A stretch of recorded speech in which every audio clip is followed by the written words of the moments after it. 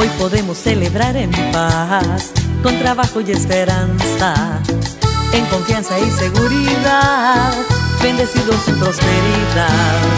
Con amor a Nicaragua, seguiremos adelante, junto a nuestro comandante. ¡Viva Nicaragua, viva el frente! Vamos, con Daniel, vamos adelante, así lo grita mi pueblo.